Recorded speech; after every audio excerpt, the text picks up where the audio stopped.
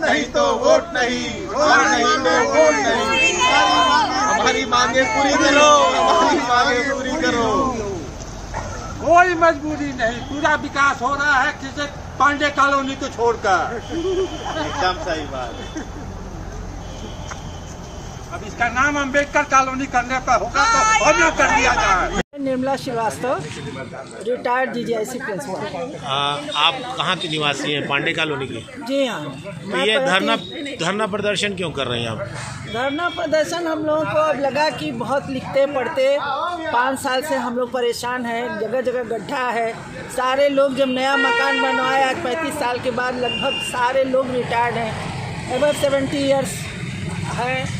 और ये गड्ढे में कभी कोई गिर रहा है किसी का पैर हो रहा है किसी का हाथ हो रहा है कुछ टूट रहा है एक दो लोग कोरोना काल में मर भी तो ये गए रोड बंद क्यों नहीं नहीं कुछ जानकारी मिली आप लोगों को? हम लोग के यहाँ से डीएम के यहाँ गए आगे संगीता बलवंत के यहाँ गए।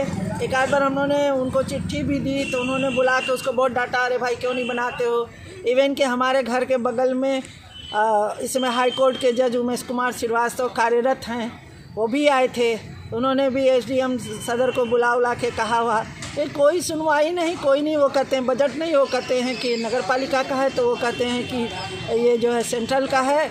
मतलब ये समझ में नहीं आता है कि ये बॉल की तरह से जो है ये योजना को इस तरफ़ से उस तरफ़ से फेंकते हैं। अब क्या करेंगे आप लोग? अब हम लोग यही करेंगे कि भाई बहुत कुछ करके हम लोग परेशान हैं। हम लोग गिर जाए हाथ पैर टूट रहा है सबके पास गाड़ियाँ हैं कार है। रात को भी इस तरह ऐसा मौसम चला है किसी को हार्ट अटैक हो किसी को बीमारी हो तो कार नहीं निकल सकती है। हम अब क्या करेंगे इसके लिए धरना प्रदर्शन? हम लोग अब यही करेंगे कि हम लोग कहते कहते परेशान हो गए तो हम लोगों ने लगता है हम लोगों के हम लोगों का जो एक पढ़ा लिखा और एक जो सभ्रांत समाज है वो हमारी कागज़ पत्तर लिखाई पढ़ाई से सुनने वाला नहीं है। इसलिए हम लोगों ने धरना धरना प्रदर्शन किया है कि अब हम लोग किसी को वोट देंगे ही नहीं। जब तक हमारी कॉलोनी का समाधान नहीं होता है। और कोई जनप्रतिनिधि आता है मांगने? आते थे लोग लेकिन अब तो नहीं अभी लोग- कोई आपके कॉलोनी में नहीं, क्या नहीं, करेंगे? नहीं हम लोग कहेंगे आप जाइए भैया। आप एकदम जाइए कुछ बात ही नहीं करनी है। ठीक धन्यवाद। ये हम लोग उत्तर प्रदेश की जो आगामी विधानसभा चुनाव होने वाले हैं उसके बहिष्कार करने ने लिया है पूरी कॉलोनी ने सर्वसम्मति। क्यों? और इसका कारण ये है कि पिछले चुनाव जो लोकसभा के हुए थे 2019 तब से पाँच साल से सड़क के लिए हम लोग संघर्षरत हैं पूरे कॉलोनी में। और अभी तक जो है वो कॉलोनी की रोड नहीं बनी, सबको आवेदन, प्रतिवेदन करके हम लोग थक गए। सौंदर्यीकरण तो हो रहा है, वो अच्छी बात है नगर में, लेकिन सौंदर्यीकरण की जगह जहाँ एक बेसिक जो सुविधा है रोड चलने की, वो उपलब्ध नहीं है। और इसमें जो कूड़ में खाज की बात ये है कि जल निगम द्वारा बिछाई गई पानी की पाइप जिस दिन से लगी है वो 200 मीटर पाइप बिछा बिछी है और वो सौ से अधिक बार रिपेयर हो चुकी है। जितना पानी पेयजल के लिए नहीं उपलब्ध है उससे ज़्यादा तो पानी बर्बाद होता है।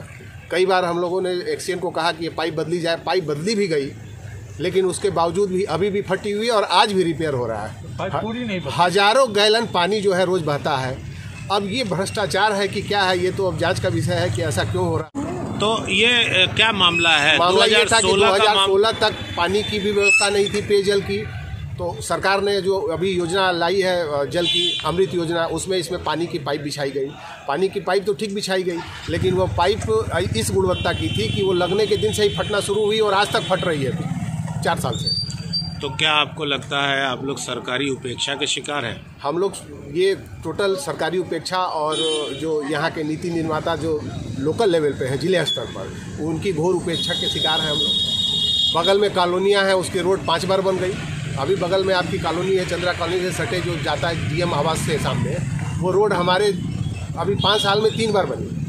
सीसी रोड बनी आपकी रोड क्यों नहीं बन पा रही तो रही? हमारी रोड क्यों नहीं बन पा रही ये तो हम भी नहीं समझ पा रहे हैं जबकि सबके लिए हमने कहा मुख्यमंत्री को लिखा व्हाट्सएप किया ट्विटर पे लिखा यहाँ स्थानीय विधायक को लिखा जिलाधिकारी को लिखा। इसके पहले भी आप लोगों ने मतदान बहिष्कार किया था? जी हाँ दो हज़ार उन्नीस लोकसभा चुनाव का हमने बहिष्कार किया था।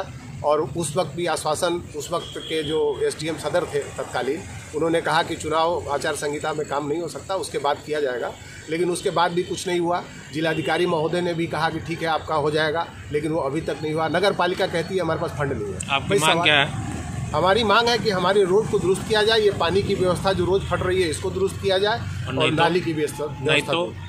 नहीं तो मतदान बहिष्कार हंड्रेड परसेंट अगर कोई जनप्रतिनिधि आपके यहाँ कोई आता है तो? जनप्रतिनिधि को हमने कह दिया है शर्मिंदा न कर दें शर्मिंदा ना हो उनसे यही राय है कि वो ना आए तो बेहतर है। भानु शास्त्री। शास्त्री जी ये किस चीज़ का बहिष्कार कर रहे हैं आप? ये विगत कई वर्षों से लगभग पाँच छः साल हो गए हमारी सड़क आज तक बन नहीं पाई। आए दिन जो है नाली टूटती रहती है और पानी टूटता रहता है और जो है बार बार मरम्मत होती है किंतु मरम्मत के के बाद भी किसी प्रकार कोई बात नहीं बन पाती है।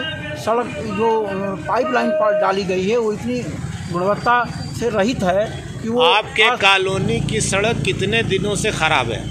लगभग पाँच छः साल हो गए। सपा के शासनकाल में बनने के लिए हुआ था पूरी सड़क पक्की ला- सड़क थी खोद दी गई और खोदने के पश्चात नाली और जो है उसके नाम पर आज तक छलावा मिला है। आज तक कुछ कोई काम नहीं हुआ है। सीवर लाइन डाली गई है और सीवर लाइन के नाम पर टूटा। उसके पश्चात जो है पाइप लाइन हमेशा टूटती रहती है। टूटने के अलावा और मरम्मत के अलावा कोई काम हुआ ही नहीं। तो आप लोग इसके लिए कहीं आगे गए थे? हम लोगों ने जो है मैंने स्वयं अपने व्यक्तिगत रूप से ट्विटर पर भी जो है योगी आदित्यनाथ को लिखा है।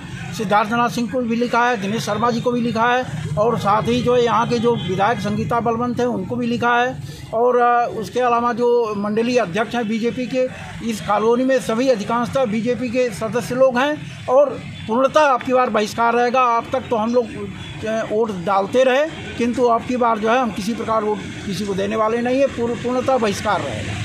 है